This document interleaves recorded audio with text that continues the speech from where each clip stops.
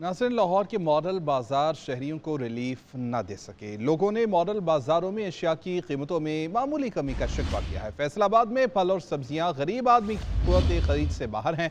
रमज़ान बाज़ार में प्याज एक सौ बहत्तर, टमाटर एक सौ दस, अदरक पाँच सौ दस, सब्ज मिर्च एक सौ साठ रुपये में फ़रोख्त हो रही है। मुल्तान में शाय खुरनोश, सरकारी नरकनामों के मुताबिक नहीं मिल रही। इंतज़ामिया सरकारी नरकनामों पर अमल करवाने में नाकाम है। कोयटा में सब्जियों के साथ अब फलों की कीमतें भी बढ़ गई हैं। तफसलत हासिल करेंगे फैसलाबाद में हमारी नुमाइंदा तैयबा अली हमारे साथ मौजूद हैं। तैयबा, क्या रेट्स हैं यहाँ पर? फैसलाबाद में रमजानुल मुबारक के पहले अशरे के मुकाबले में सब्जियों और फलों की कीमतों में कमी के बाद भी अशिया की कीमतें गरीब आदमी की कुत खरीद से बाहर हैं। अगर फैसलाबाद के रमज़ान बाजारों में मसाला जात की कीमतों की बात की जाए तो प्याज एक सौ बहत्तर बहत्तर रुपये इसकी कीमत मुकर की गई है।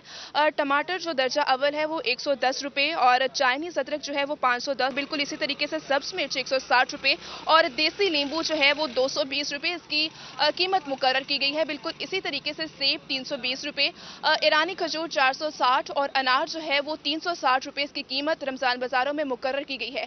आवाम की जानब से यही मौक़ अख्तियार किया जा रहा है कि पिछले अशरे के मुकाबले में कीमतें तो कम हुई हैं, लेकिन इन कीमतों को मजीद कम होना चाहिए ताकि रमज़ान मुबारक में गरीब आदमी को मजीद रिलीफ मिल सके। जी। कोयटा में बढ़ती महँगाई के बायस सब्जियों के साथ अब फलों की कीमतें भी आसमान से बातें करने लगी। सेब की कीमत दो सौ पचानवे से बढ़कर तीन सौ पचास रुपये फ़ी किलो हो गई है।